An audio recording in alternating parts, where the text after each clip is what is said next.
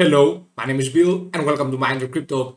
Ethernity Chain ERN has been doing insane over the last few days and here we are to do a technical analysis and price prediction over this coin. Before we begin, do not forget to join our monthly subscription, Patreon slash Mind Your Crypto. You do not have to pay upfront right now. Patreon has a new system and of course you can join whatever tier you like. Thank you so much for watching. Have a fantastic day.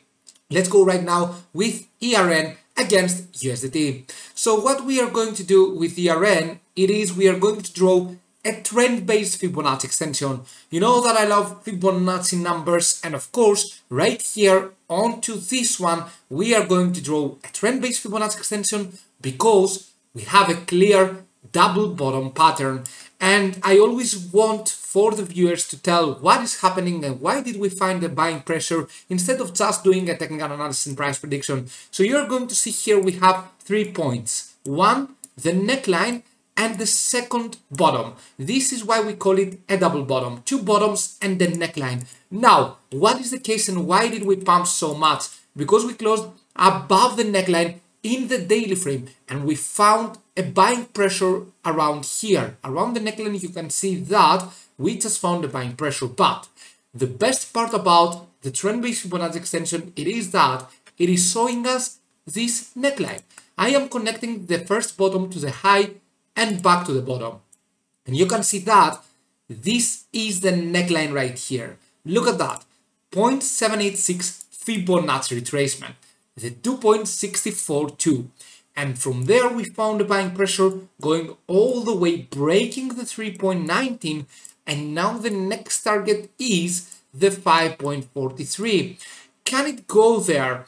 Unfortunately the case is that we do not have only the 5.43 right? We have one more resistance level sitting at around 4.23 the thing right here is that we need to close above in the daily frame above the 3.19. Okay, if we close above the 3.19, then it is good. As you can see, we already found the 4.22 as a resistance level. It was previously into the 24 January 2022. You can see that our support level and then we collapsed with the Bitcoin crash. Of course, right here, we have gone insane and we went all the way up to the 4.23 again. But can we go now even, even higher? The thing that we need to do, as we talked about, to close above the 3.19. I would prefer to close above in the daily frame, but in the 4 hour frame it is also good. But you can see that we already closed above and we approach the 4.23. Now, if we go to the technical analysis, we can see that we are having a crazily high risk. I am expecting a correction coming out of Ethernity Chain.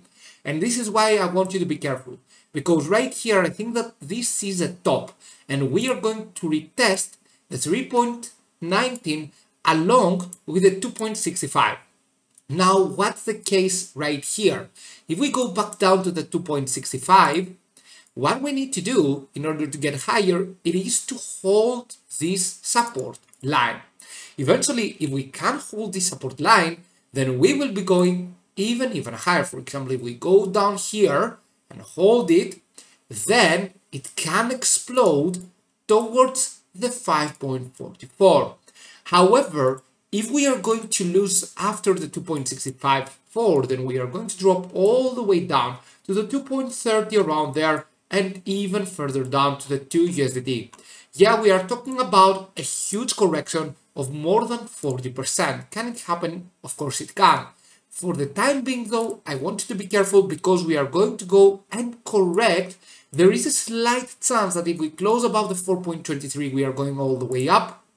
Okay, but we are having a huge, crazily huge risk. But I'm giving this chance in order for you to know. If we close above the 4.23, we are going all the way to the 5.43.